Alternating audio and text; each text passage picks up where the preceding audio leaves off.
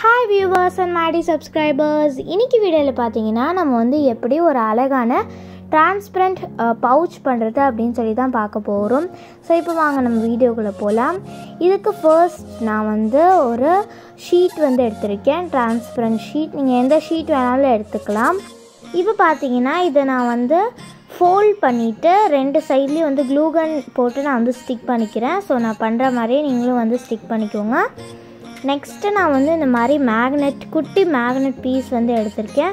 நம்ம பவுச்சை வந்து ஓப்பன் பண்ணி க்ளோஸ் பண்ணுறதுக்காக நமக்கு மேக்னெட் இல்லைனா வந்து வெல்க்ரோ இருந்துச்சுன்னா அது கூட நீங்கள் யூஸ் பண்ணிக்கலாம். ரெண்டு குட்டி மேக்னெட் பீஸ் எடுத்துகிட்டு இந்த மாதிரி இந்த மாதிரி வந்து அந்த மே மேக்னட்ஸுக்கு பேக் சைடில் வந்து க்ளூகன் போட்டு ஸ்டிக் பண்ணிக்கோங்க. நெக்ஸ்ட்டு நம்ம வந்து மூடுவோம் இல்லையா? ஸோ அந்த இடத்துல வந்துட்டு நான் இந்த மாதிரி கர்வாக ரெண்டு எட்ஜஸ்லேயும் வந்து கட் பண்ணேன்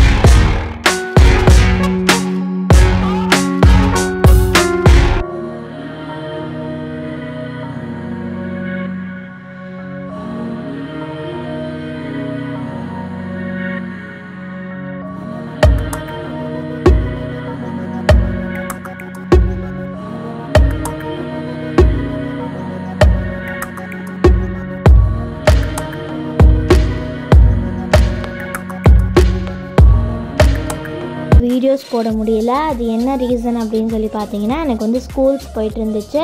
எக்ஸாம்ஸும் போயிட்டு இருந்தனால நான் கொஞ்சம் பிஸி ஆனதுனால நான் வீடியோலாம் போட முடியல.